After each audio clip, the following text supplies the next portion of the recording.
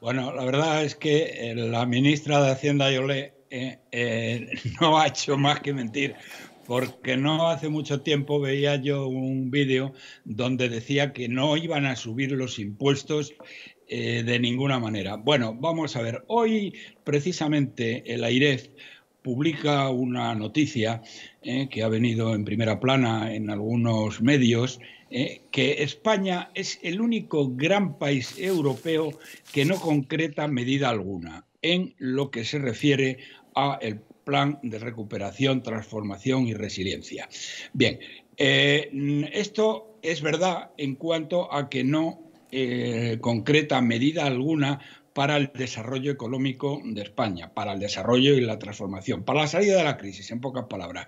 Pero sí detalla con una gran eh, precisión ¿eh? las subidas de impuestos, que eh, totalizan aproximadamente 80.000 millones de euros.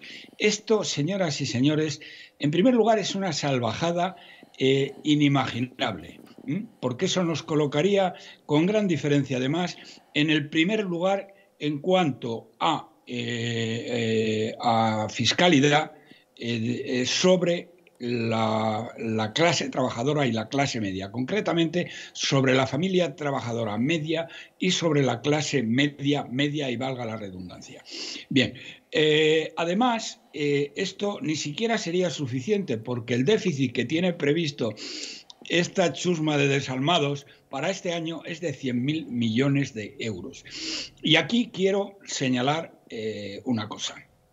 Lo he dicho, pero lo quiero repetir porque esta gente está repitiendo como un mantra absolutamente falso, de toda falsedad, el que eh, los fondos europeos nos van a permitir salir de la crisis. Y eso, miren ustedes, es que, es, que no hay por dónde cogerlo. ¿Por qué razón? Porque los 140.000 millones de euros que serán los fondos europeos, en el supuesto nada probable que nos los vayan a, dar todos sin eh, exigirnos toda una serie de medidas a cambio, ¿eh? que no son la subida de impuestos, sino todo lo contrario, eh, eh, se reparten en seis años. Es decir, que cada año nos tocan 23.000 millones de euros. Este año, en concreto, nos tocarían 23.000 millones de euros.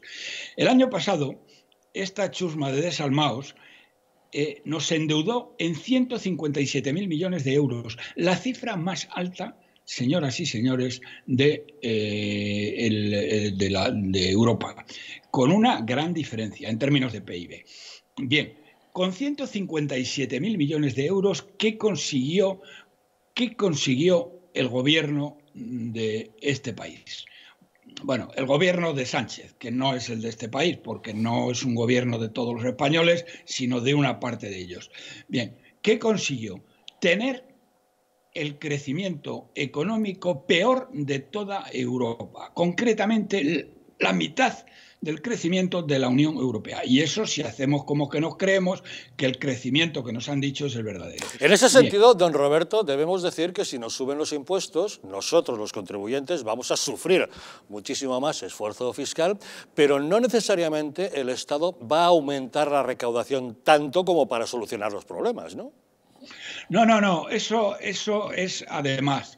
Pero bueno, digamos que desde un punto de vista teórico, ellos, eh, aunque es muy cierto lo que dices de que eh, la recaudación fiscal en el primer trimestre en términos homogéneos ha caído un 2,5%, lo cual se da de patadas completamente con la cifra que la mentirosa compulsiva Nadia Calviño ha dicho que hemos crecido en el trimestre, porque no puede caer la recaudación un 2,5% ¿eh? y subir el PIB o mejor dicho, bajar el PIB solamente en un 0,5, que es lo que ha dicho esta, esta señora. Bien, eh, vamos a ver, eh, vamos a ver, Javier, en línea teórica, ellos podrían subir los impuestos para sacar los 80.000 millones. Lo que pasa es que eh, lo que pasa es que la caída que tendría la demanda, el consumo en España, iba a ser de tal tipo que, bueno, que nos iba a hundir eh, total y absolutamente. Entonces, la ruina sobre las familias españolas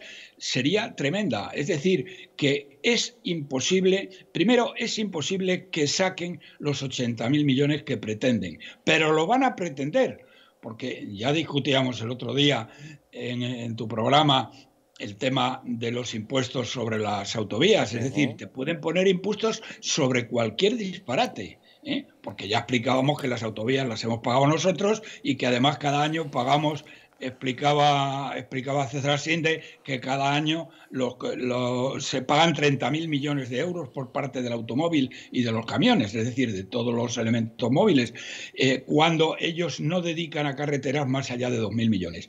Entonces, siempre podían hacerlo. Pero esto, señoras y señores, nos llevaría, en el momento actual, para que tengan ustedes una idea clara, eh, mm, la factura fiscal el, impacto, le, llaman, es una palabra que no me gusta, pero se denomina así, la cuña fiscal media, ¿eh?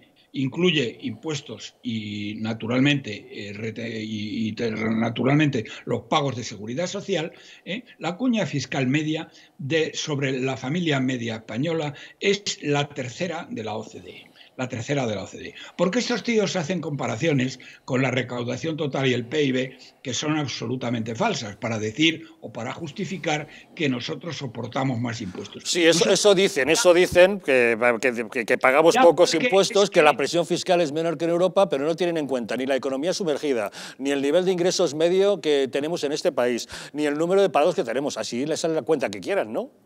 No, no, efectivamente. Es que, primero, en, la, en la recaudación fiscal hay mucha gente que no paga. Por ejemplo, los más ricos. Los más ricos, gracias a unos instrumentos jurídicos fiscales que puso el PSOE en marcha en los años 80, ¿eh? Los ricos a través de la SICAP no pagan impuestos. Es decir, donde nosotros pagamos un 45 o un 50%, ellos pagan el 1%. Y eso no lo han tocado ni lo pueden tocar con facilidad, entre otras razones, porque si no, esas grandes fortunas se irían fuera de España, aparte de que muchas ya se han ido y se siguen yendo. ¿eh?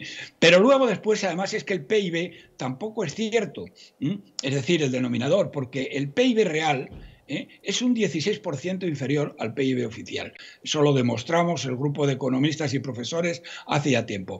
Pero lo que sí es verdad, por eso precisamente eh, la OCDE lo que hace es calcular la cuña fiscal, es decir, lo que paga realmente una familia media, una familia de padre, madre y dos hijos en España, ¿eh? la del trabajador medio. Y entonces en esa, en, esa, en esa cuña fiscal estamos en el tercer lugar. Si ahora sobre eso le mete estos miserables 80 mil millones de euros, o aunque solo fueran 40 mil, es que nos ponemos a la cabeza del mundo en cuanto a presión fiscal, justo en el momento en que España, el año pasado, ya lo he dicho, creció, mejor dicho, creció no, se hundió eh, el, doble que la media europea. Así es, en el peor momento. Y para colmo, don Roberto, ya están amenazando también con tocar el tipo del IVA reducido y superreducido, el del 4 y el del 10%, y pasarlo al tipo general del 21, lo cual afectaría directamente al consumo de las familias.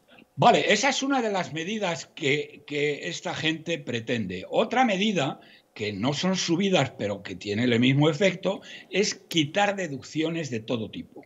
De toda la vida de Dios, las deducciones han sido muy importantes en el IRPF. Bueno, pues están dispuestos a quitar las deducciones de los seguros, de la vivienda, de lo que haga falta. Es decir, ya no saben, es que, es que son, esta gente son unos desalmados. Y les llamo desalmados porque realmente no tienen alma. ¿eh? Están dispuestos a llegar a las barbaridades mayores. Eh, bueno, no quiero ni pensar lo que hubiera sucedido a los madrileños si no llega a ser la aplastante victoria de Díaz Ayuso, porque verdaderamente, y a pesar de todo, todavía no las tenemos todas con nosotros, porque quieren imponer, cosa que dudo que puedan hacer, quieren imponernos por, por, la fuerza el impuesto de sucesiones y el impuesto de patrimonio que, que los están. Dicen que lo quieren armonizar, sí. Armonizar, exactamente. Es. decir, que en vez de bajarlo en el resto, subirnoslo a nosotros también.